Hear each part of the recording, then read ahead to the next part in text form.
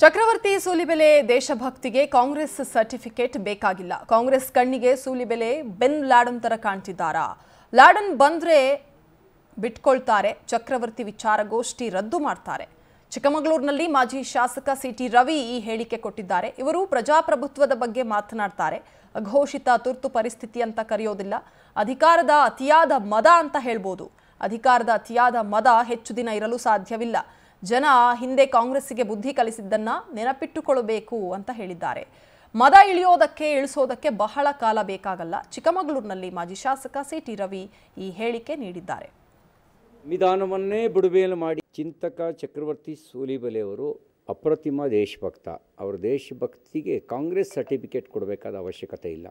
ಬಹುಶಃ ಕಾಂಗ್ರೆಸ್ ಕಣ್ಣಿಗೆ ಸೂಲಿಬೆಲೆಯವರು bin Laden ಥರ ಏನಾದ್ರು ಕಾಣ್ತಾ ಇದ್ದಾರಾ?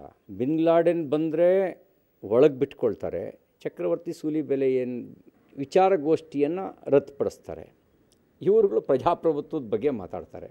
ಅಘೋಷಿತ ತುರ್ತು ಪರಿಸ್ಥಿತಿ ಅಂತ ನಾನು ಕರೆಯೋಕ್ಕೆ ಬಯಸೋದಿಲ್ಲ. ಅತಿಯಾದ ಅಧಿಕಾರದ ಮದ ಅಂತ ಹೇಳ್ಬೋದು. ಅದಿಯ ಅತಿಯಾದ ಅಧಿಕಾರದ ಮದ ಹೆಚ್ಚು ದಿನ ಇರೋಕ್ಕೆ ಸಾಧ್ಯ ಇಲ್ಲ. ತುರ್ತು ಪರಿಸ್ಥಿತಿ ಹೇರಿ ಸಂವಿಧಾನವನ್ನೇ ಬಿಡುಬೇಲು ಮಾಡಿ ಪ್ರಜಾಪ್ರಭುತ್ವವನ್ನೇ ಹತ್ತಿಕ್ಕಿದ ಕಾಂಗ್ರೆಸ್ಸಿಗೆ ಹಿಂದೆ ಬುದ್ಧಿ ಕಲಿಸಿದ್ದನ್ನು ಇವರು ನೆನಪಲ್ಲಿ ಇಟ್ಕೋಬೇಕು. ಮದ ಇಳಿಯೋದಕ್ಕೆ ಮತ್ತು ಇಳಿಸೋದಕ್ಕೆ ಬಹಳ ಕಾಲ ಬೇಕಾಗಲ್ಲ. ಚಿಂತಕ ಚಕ್ರವರ್ತಿ